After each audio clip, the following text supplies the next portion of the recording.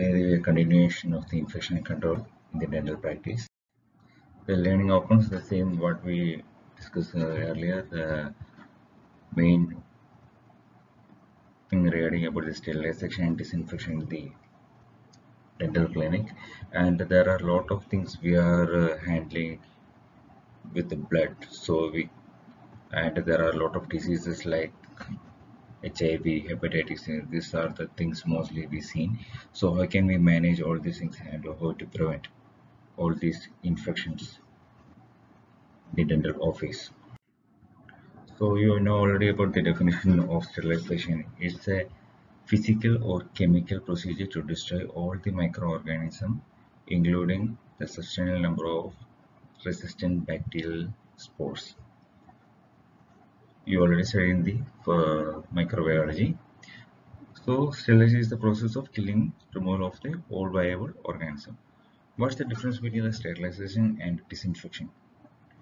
Disinfection means you distract of all pathogenic and all kinds of microorganisms by physical or chemical means. So it's a lethal than sterilization because it destroys the major majority of recognized pathogenic organisms, but not necessarily for the old microforms like a bacteria spores. So sterilization via my, uh, the instruments that are kept in the autoclave or in the uh, uh, sterilizing unit. So we can destroy all the microbial pores everything but disinfection we are only the to clean the surface. So disinfection is the process of removing all the all the most but not all the organism so what will be sterile this thing no free from all the living organism living microorganism usually except the probability probability serving the microorganisms so that means free from all the microorganisms. That is very important for the our the uh, medical and dental purpose. Otherwise, there will be chances of infection will be from one person to another person. So, what is the strategy to achieve the infection control? The immunization and uh, there is a patient screening, hand washing techniques, direct uh, techniques like PPE and the use of rubber dam pre-prepared rinsing and a needle. There are a lot of instruments like sharp needles, brand instruments we are handling. So needle and sharp instrument safety, occasional exposure to blood and body fluids. There are a lot of things we are handling the instrument sharp and this there will be higher chances of uh, transfusion of uh, blood and body fluids. Looking more care to this type of things and self disinfection the patient will touches the dental chair uh, the tumbler all these things so you must care about the surface disinfection and radiography asepsis, laboratory asepsis, infection, uh, infectious dental waste management and disposal. To handling the instruments in the dental clinic and the proper waste management, waste management is very important.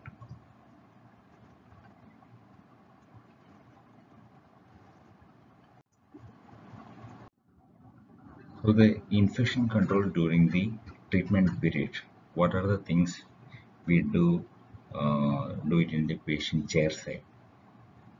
So mostly uh, there is be uh, lot of things are near to the dental chair. The care uh, to be taken when receiving the handling of instruments or passing any type of sharpener, mainly the syringe and BP blade, barber blade these are the things and there are a lot of expo all these things are very important. So take special precautions with the syringes that is the most important part.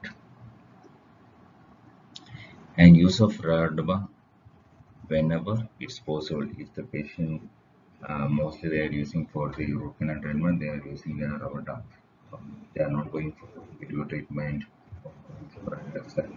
removal of teeth they are not using the rubber So avoid touching unprotected switches. Mainly the switches are near no because they are using the uh, ultra using the when you're going for the radiograph there will be uh, switches are there if you're going for the uh, light cure these things there are switches are there. So you must protect the switches and the handles and other equipment once gloves have been contaminated. So when you're touching all these things you must care about whenever you're going to do the next procedure you must clean all these things. That is very important. So avoid entering cabinets once clothes have been contaminated. If you're going to enter the cabinet touch the door handle or the clothes in whenever is there so how can we prevent all these things. Now, workplace controls the established practice to protect processing sharp device. so, before beginning the procedure, what are the things you must check? Now, the equipments and instruments arranged within the arm's reach.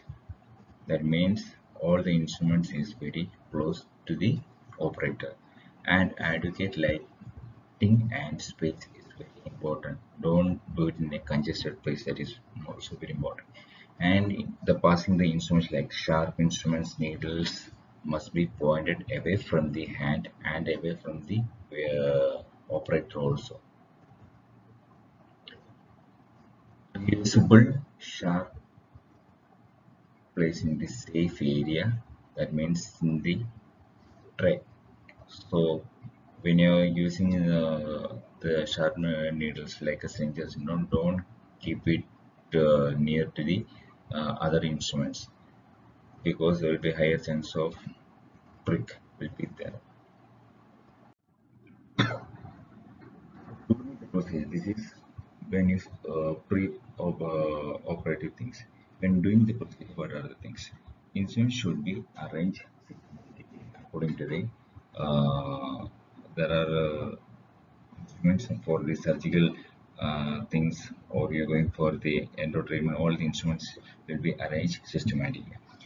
When handling the sharp and beware of the stuff the immediate environment minimize uncontrolled and forceful manipulation of sharp instruments don't uh, do the vigorous movements of the sharp instruments and use of instrument instead of fingers retract tissue and anesthetic injections. Retract maximum. Then uh, then only you can do the suturing and you can give the LA. If you do it in a very closed uh, area, no, there will be chances of prick will be there. Passing the instruments with the sharp ends pointing away from the, all the persons and announce instruments pass. If you going to pass the instrument to the assistant uh, like that don't pass it as a normal instrument penetrating instruments like uh, uh, burrs everything handpiece everything remove uh, from the handpiece immediately after the use when you finish the procedure just remove the burr the needles the BP blade, everything from the area. Tips of ultrasonic scalers must be sharpened or removed immediately after the use. Recap needle use once handed scoop technique or uh, creating the device. That means scoop technique is a normal technique we are using in the dental clinic. Because most of the times we are going to give LA, there will be higher chance of needle prick. So this is called a one hand method. That's called a one hand scoop technique. You can see the picture. First uh, the cap is placed on uh, the table. Don't touch the cap with your left hand. Uh, put the cap on the table. Place the cap on the level of horizontal surface. Gently slide halfway into the cap. Pass the needle into the cap and then slowly tip up needle end of the device and allow the cap to slide over the needle. And take it out then finally use the thumb of the hand holding the device and secure the cap on the fringe. That means you are always using with the one hand only. Don't use with the both hands. If you're using one uh, one hand with the cap and another hand with the needle, there will be higher chance of the needle break. Then during the cleanup procedure, after the procedure, how will you do is visually inspect the waste materials for the presence of sharps Separate and transport the reusable stuff in a closed container. The scalpel blades suitable instruments. Do not cut or bend or remove needles by hand before disposal. Do not remove the needles from the disposable. Normally, this ring is very important and also if you're going for the using of the BP blade no take out the BP blood using with the needle holder. Don't use it with your hand. That is very important. Otherwise there will be higher chance of the prick and put in the proper uh, waste disposal man. So the biological is you know there are lot of bins will be there. Red yellow or white like that so what are the things we will put in the green bag? That is general waste, non-infectious like uh, using the paper waste, cartons, package material, plastic sheets, newspaper, waste products items. That's the non-infectious materials that we will put in the green bag. But what are the things we will put in the red bag? That's our infectious waste. That normally they are contaminated with the blood and blood products. That's are blood bags, gloves, urine bags, disposable like catheters, IV drips, Ryle's tube airways. That normally in the hospital also these protocols will use that the biomedical waste like uh, uh, blood bags will be there, blood transfusion bags, gloves, surgical gloves, urine bags, all these things we will put in the red bag because they are uh, they are contaminated with the blood or body fluids. Then what's the things we will put in the yellow bag? That's the infectious cotton or anatomical waste. That's like uh, bandages or dressings like cotton soap plastic cast napkins filled with the blood or body fluids of patients linen material, human tissues, organ body parts, placenta. Normally, if you're going for the cesarean or going for the cyst removal, all these things, they will put uh, in the yellow bag. Then what are the foods in the white bag? They're like uh, sharp are infectious. Mainly, the needle should be destroyed the generation point that lancet or the plates but the uh, syringes to be discarded after destroying the needle tip and removing with the plunger. The 1% person sodium hypochlorite solution. Mostly the needle will destroy first you destroy the needle tip using with the plunger or we will bend the needle tip. Then we'll cut, uh, cut the hub using the plunger and we'll dispose in the container. Normal if they are using like that only that's a sharp answer the same thing uh, we'll do the PP also because they are very sharp. Then what are the things we'll put in the blue bag that's the sharp waste infectious is the same thing but it is different from the white. But because they are using mostly the IV drip bottles and uh, injection vials ampules mostly in the hospital they are using the IV drip set ampules will be there. All these things they will kept in the separate bag that's called the blue bag. So these are the mainly they are using the waste management protocol in the hospital setup and the clinical setup.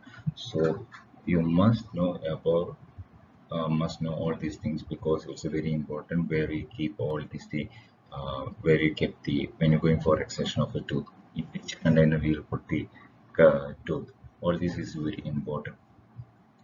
You going to throw out the uh, waste like uh, BP blood, all these things where we kept. That is also very important. Cotton also very important. So all these things you must know the color coding. So in this uh, topic only we are regarding only how to handle the instruments, the sharp needles, everything and the biomedical waste management. Thank you.